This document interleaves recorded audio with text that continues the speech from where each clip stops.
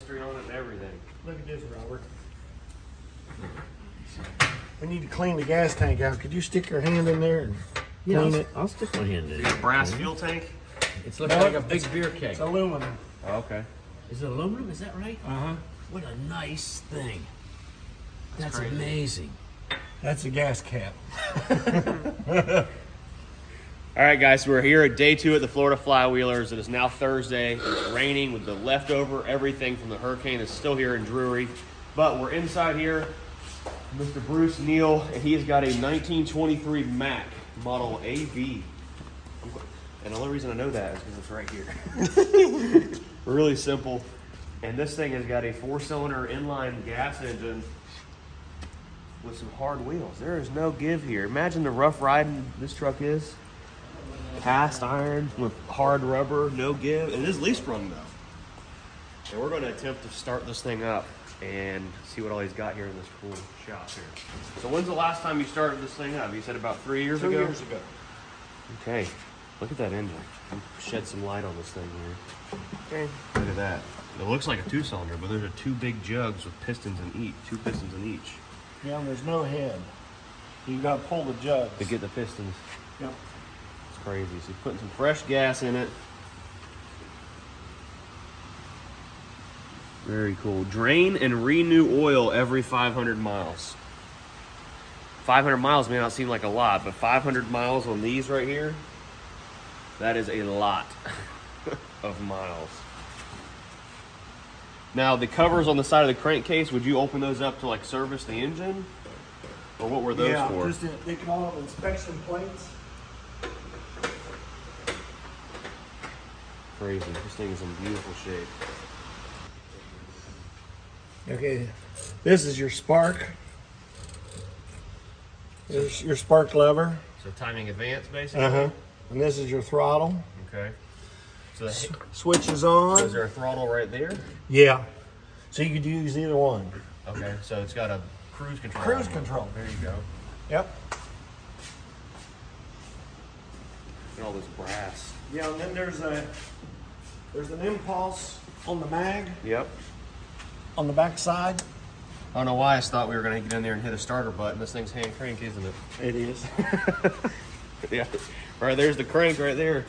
Now, did you put it back in neutral? yes, I did. Okay. This thing was used on the street of um, London, Kentucky, I believe, till 1954 and 55. What was it used for? Water the streets. It had a water wagon on it. Water tank. it's amazing it made it this far with it carrying water and no rust issue, you know, major rust issues, I guess. Yep. Now, give us, yeah, give us the backstory. You said you Yeah, my dad bought it in 1967 uh, from a friend of his that bought it from London, Kentucky Street City, and they uh, they brought it brought it home. Well, in fact, you can see it. They towed it with a wrecker. See that that patch on that tire? Okay, yeah.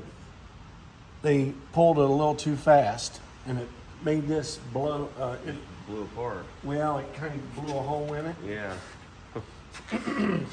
Um, when I was 10 years old, when my dad restored it in 1968, and I helped him what I could do.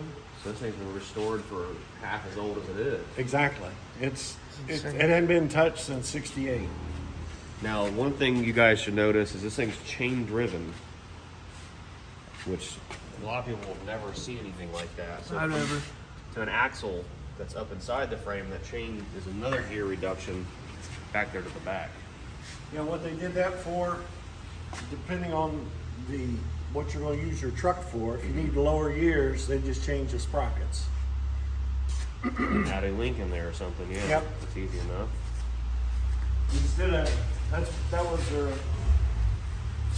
that was the thing. Instead of changing the gears, the rear end gears. Just change the sprockets. All right. Hand crank. Okay. See how he's got his thumb? Where it's not wrapped around that hand crank? You put it just like that, so you don't break that thumb joint. See, it's not clicking now. Something's not right. Impulse is not clicking. Oh, gotta be E40. Look at the belt. See that belt right there? How it's belt you put together. See, you're really, the old timers who see this video, you're really supposed to be pulling up on it. Oh, really? Not pushing down? Right.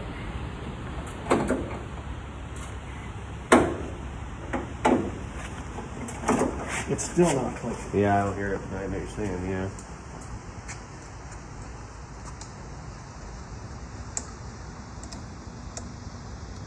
So what he's talking about is the impulse mag has got a kind of a spring in there, so it clicks over real fast and helps make spark happen. There we go. Hey. Imagine having to do this in like Kentucky when it's like zero degrees outside. Yeah, You got to get out there and hand crank your truck to go do your job in the morning. Oh, Take a lot of things for granted nowadays. Still not clicking right. And maybe it'll free up once it. Yeah. No, it doesn't kick, uh, kick me.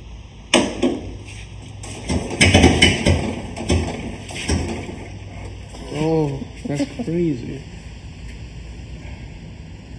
Definitely.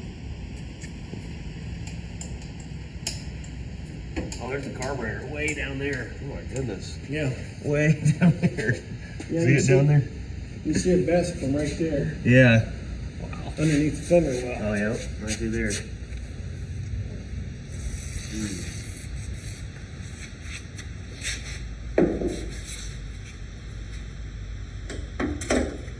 All right.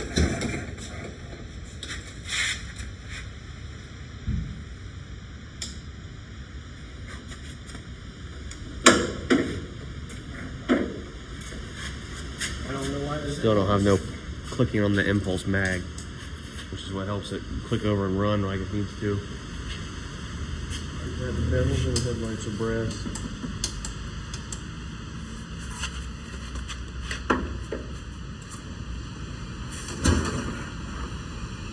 I'm scared it's going kick Kick back on you. because it's his impulse is not working. Over some.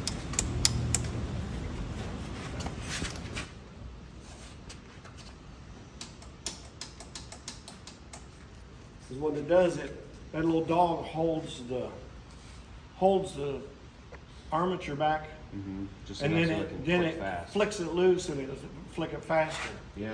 Where right now, all I'm doing is is just going in slow motion. Not that spark. Yeah.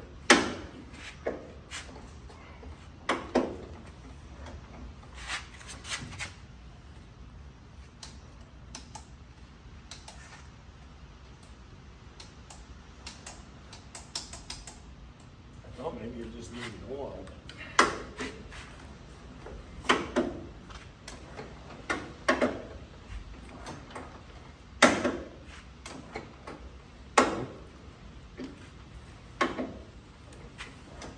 I hear it starting to just barely kick, just tiny, tiny bit. Would you mind turning it over? I, it doesn't have the ignition on. I want to watch to see what's going on. Something to keep in mind is like, could you only imagine having to restore this thing today? Is there's like no calling anywhere and saying, hey, hey, I need some piston rings for a 1922 Mack truck.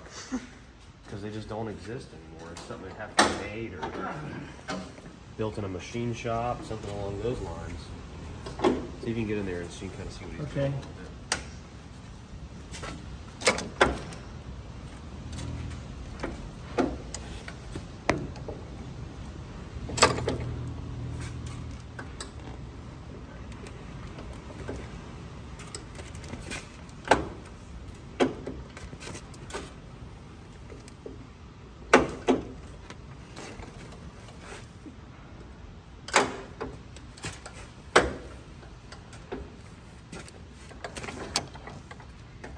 Yep, that's it.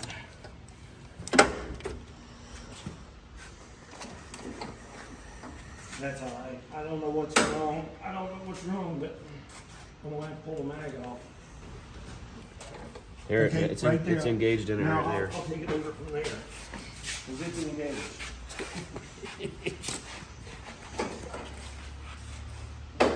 But it didn't click.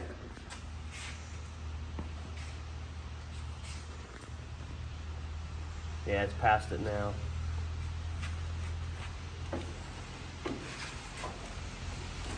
There it goes. It's, it's starting to grab it now.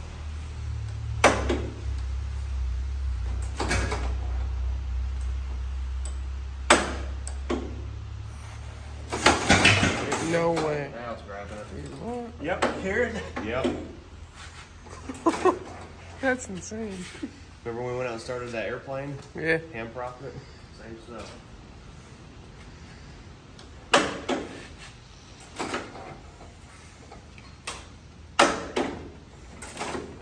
Yeah, it's not grabbing it now. I think if you roll it right up there to it, it should. I think I got it flooded. Yeah, that might also possible, I guess. This thing, when it's running right, Just two turns and it's going. fall on it and it starts. yeah, it's right there about to come up on the on the uh, catch there.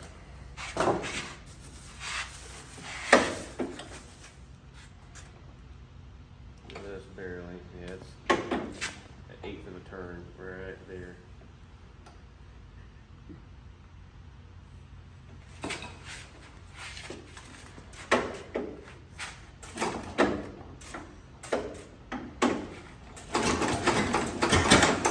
There we go. Oh.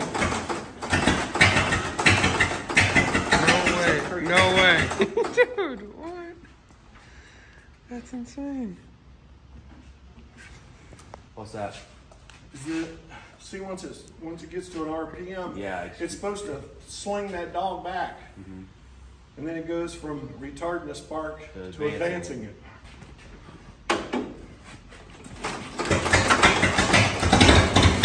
Go! We're gonna have to wash this thing off. We can drive it in the parade. If we drive in the parade and get washed off Yeah, right. Mother Nature.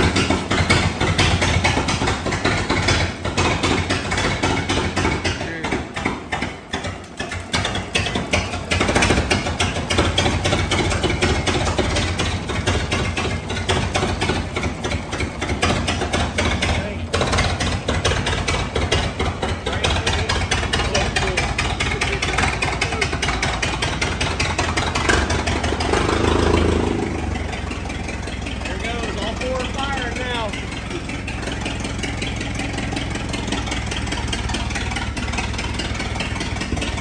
What is this right here? Air cleaner. Really? On this spin around. Check that out. Look, here's the air filter. See it spinning?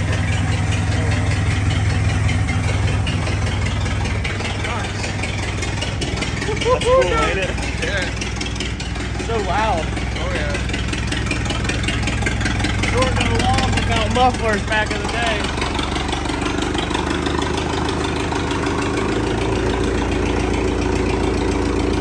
You can change the timing and it, it control how the engine runs, so you mainly gives it less power or more power too.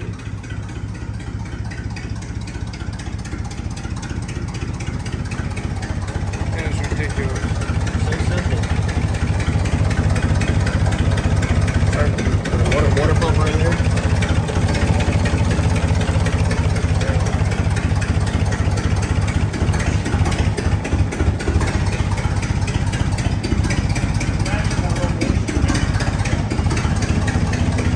See, these don't have temperature gauges inside. Right here's your temp gauge.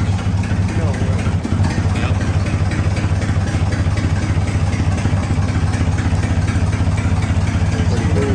Therm- thermometer in there.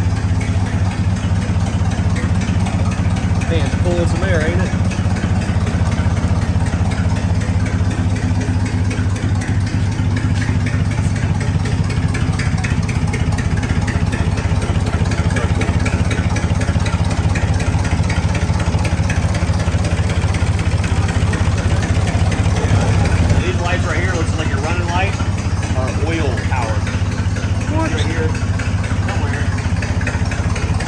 on the back side where you would adjust the wick inside to keep them burning.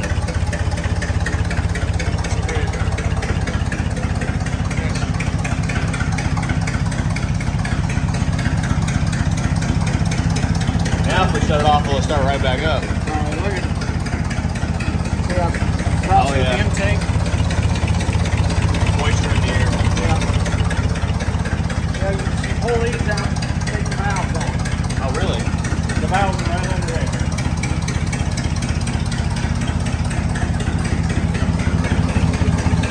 If you burn a valve back in the day, you could change it without pulling the whole jug off. That's so neat. All right, now for the moment of truth. Yeah. It's warmed up. It should just.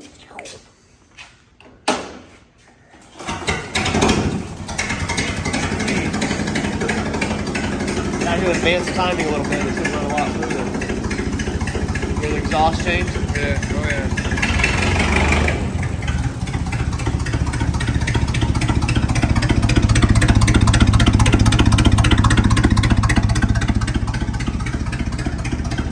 Cool. All right, there's the model and serial number if. Chassis number is model AB.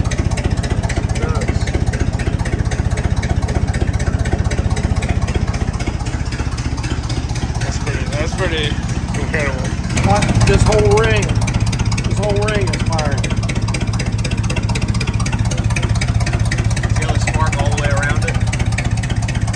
Big width coming in here as when it gets closer to nighttime. Oh yeah. It's dark outside. You can. Yeah, you can see it. Few magnets, crazy what a magnet will do. Look at all this stuff on the inside. What is that? Everything about the engine.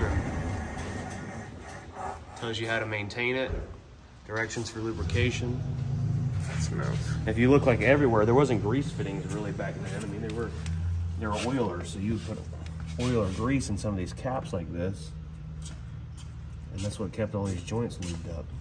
Yeah, that's a, I think they call that a Zerk fitting. Mm-hmm. Instead of, instead of the grease fittings you know today. Here, Ryan, show them up underneath here. They can see everything. The transmission up there. Oh, wow. And right here's the actual rear axle. That what drives everything, and then the one back there is just would be like a floating rear axle, basically.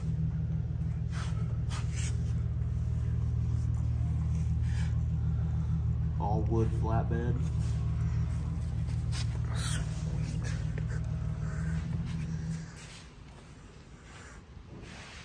What Piece do of you think history. about all this? This is nuts.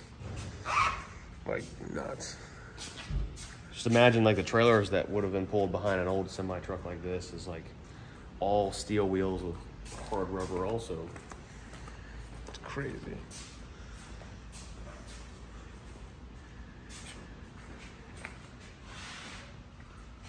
A lot of the cabs made out of wood too. Yeah, awesome. So is it all original I'm a or? I had that mag rebuilt about five years ago. Well, you let it sit for three years. Paid five, four hundred to have it rebuilt. Yeah. Yeah. And the impulse, but it didn't. Now I think about it, that it it was not working right after I put it on. That is crazy. Radiator got a little not too hot, just warmed up just a tiny bit. Crazy. So cool.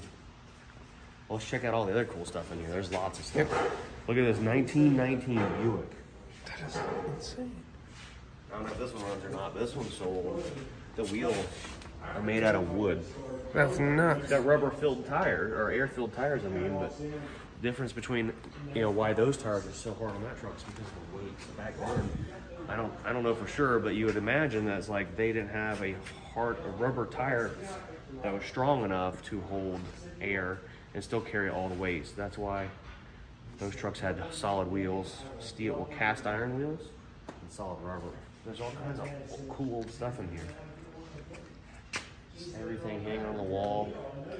Mr. Neil, his name's Bruce also. Crazy. I don't see too many Bruces around.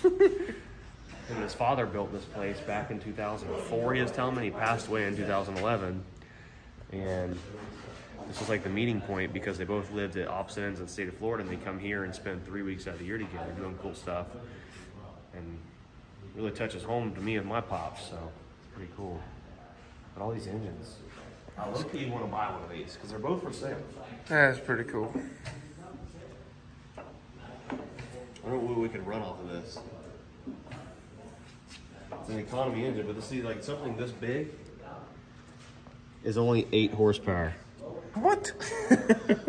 Dang. Eight horsepower at 400 RPMs. That is crazy. And then like this guy right here, he's got a data plate on it anywhere. I think this is another economy engine. I don't know, but That's nuts. pretty cool, huh? Like how, how big these things were to make such a small amount of horsepower. But when you think about it, like at the end of the day, the amount of manpower that it relieved for doing certain jobs, you could For have this engine running. And these things were old, old, old, early, early 1900s. Okay, yes. Crazy. Old McCormick started up on gas and runs on diesel. What? You believe that? That's insane. Look at this big boy. Oh wow. It's all history in Imagine here. trying to start. If it's not, it may be locked up. It Oh, does wow. move a little bit. There you go. oh wow.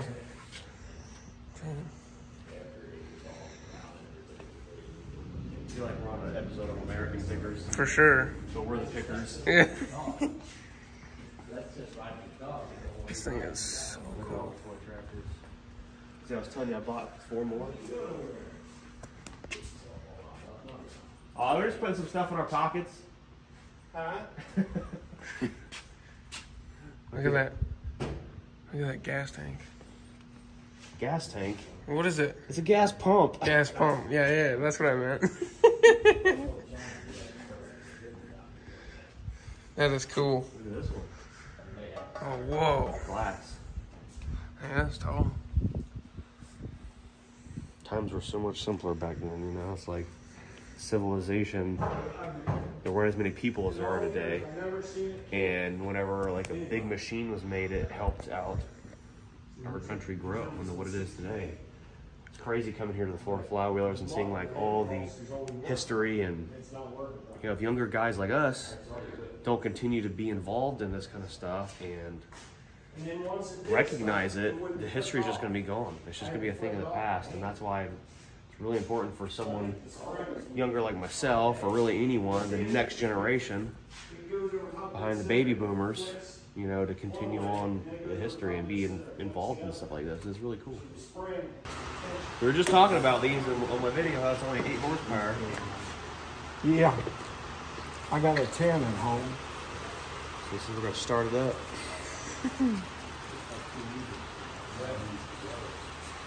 So here's what would be, I guess, the carburetor. Yeah, that's a choke.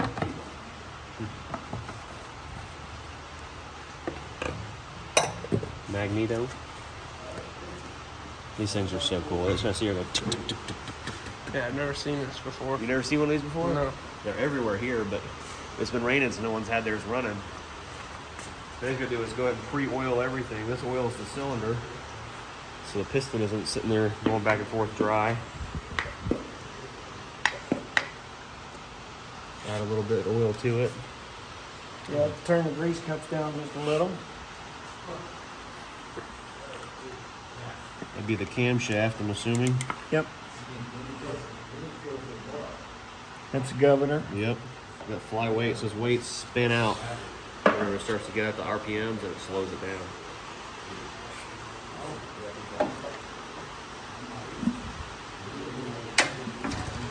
There's a, the clicking of the. Impulse. Yep. You would put your finger right over this hole. All right. Yep. See what's gonna happen.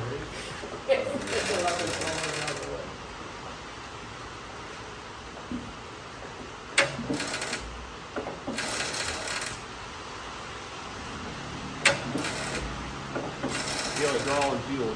It is wet. Okay, that's good.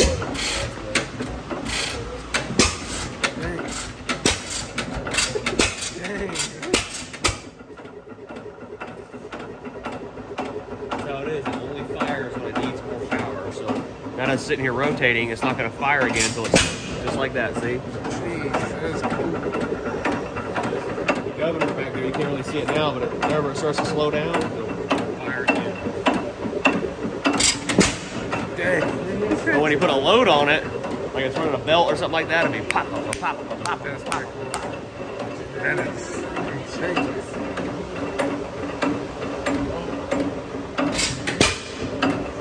That's pretty cool.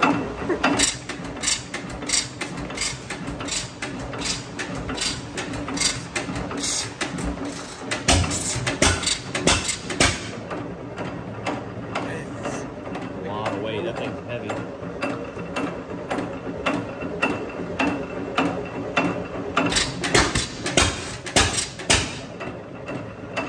Yeah, that's, that's the retard, I forgot about that, that's the retarded spark, Okay. that's advanced.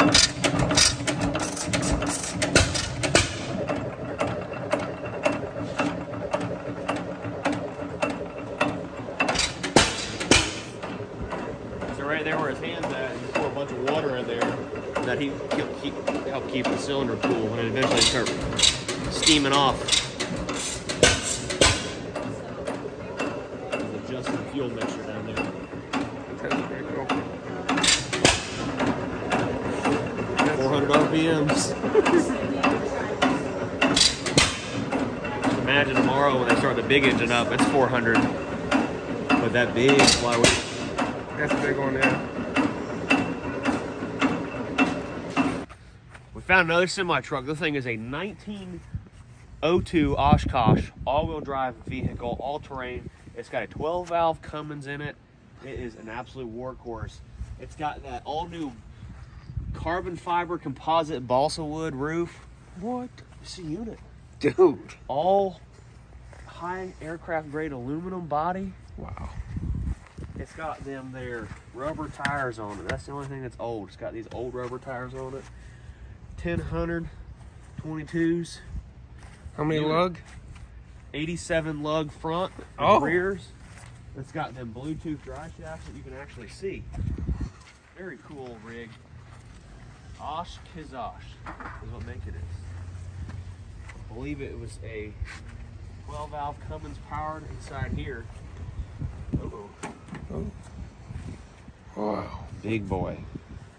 It's like Man. locomotive in here. Oh yeah. See, it look. This thing came straight from the shores of Okinawa. look at that rocket thruster underneath there. Jeez. It's got one of them high lift beds. It's a dump boy. Big old dump boy. All jokes aside, this thing is cool. It's another old style semi truck here, all wheel drive. It's got a six cylinder gas engine in it. Not chain drive.